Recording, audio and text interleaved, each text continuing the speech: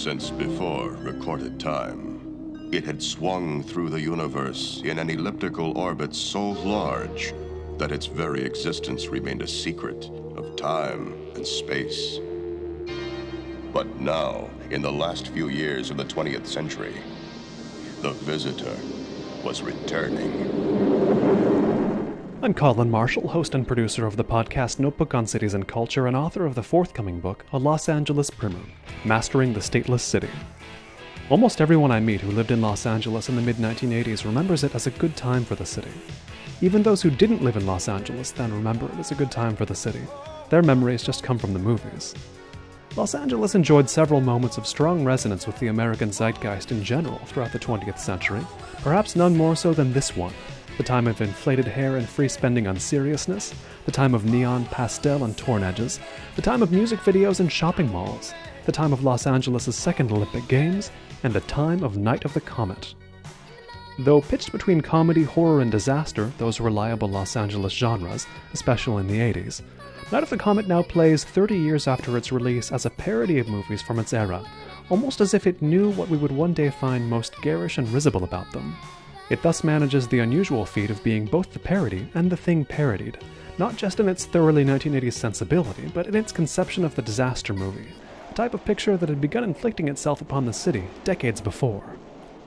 The disaster in this case comes from the titular comet, which on the titular night passes close to Earth, reducing nearly everybody exposed to piles of red dust. While this phenomenon has presumably affected the entire planet, the film's story plays out just in Southern California and mostly in downtown Los Angeles, placing it into a tradition with other 1980s movies involving downtown and an apocalyptic threat from outer space, such as Alex Cox's Repo Man and John Carpenter's They Live. So, how do you evoke an apocalypse on the cheap?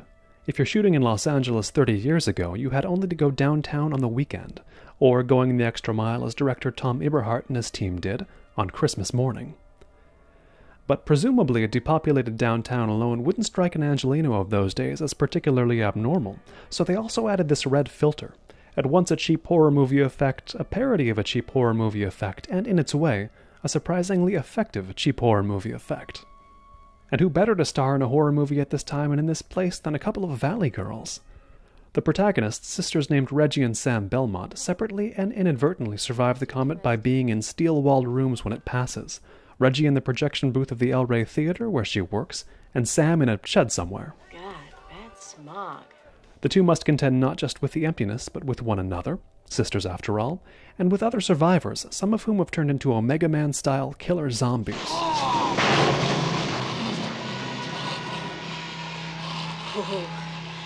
What is this, trick or treat? The surprisingly plentiful documentation on Night of the Comet, much of it collected on the fan site nightofthecomet.info, invariably calls these two Valley Girls, a term coined to refer to a certain type of young lady hailing from the San Fernando Valley north of Los Angeles. And so I wondered why Reggie drives through downtown to get home from the El Rey, just west of Koreatown. Are they in fact San Gabriel Valley girls, living in the equally suburban region to the east? They are not.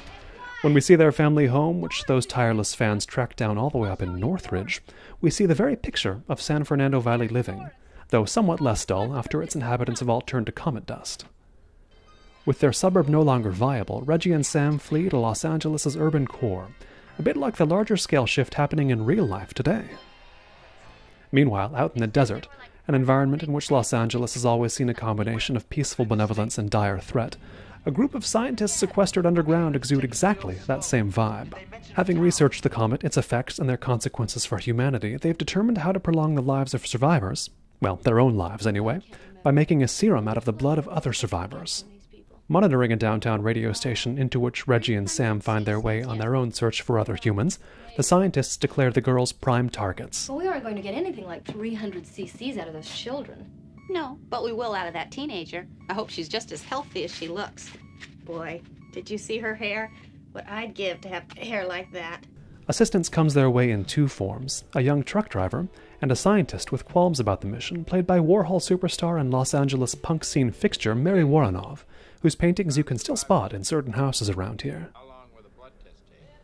None of the fans' research explains quite why the radio station looks like this, but the way its opulence contrasts with its Skid Row adjacent location does underscore the alternation between excess and desolation of 1980s Los Angeles. The same goes for the shootout at Bullock's Wilshire, when Reggie and Sam decide to go on a moneyless shopping spree and run afoul of a group of thugs who have commandeered the place. One of them played by Dick Rude, the skinhead from Repo Man. While not an instant success, Night of the Comet has over the decades grown into the definition of a cult movie.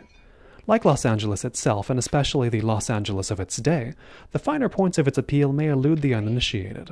But the film has only drawn more appreciative fans, and more obsessive ones, over time.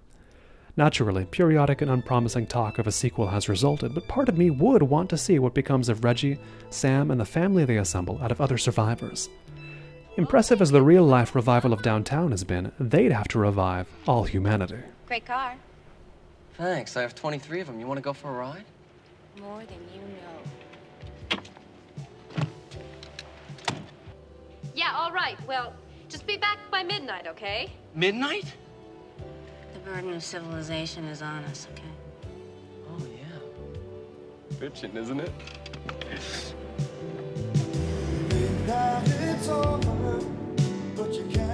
For more on Notebook on Cities and Culture, a Los Angeles primer, or The City in Cinema, visit colinmarshall.org. The City in Cinema comes live to Portland, Oregon's Hollywood Theater on January 25th, 2015. Stay tuned for details.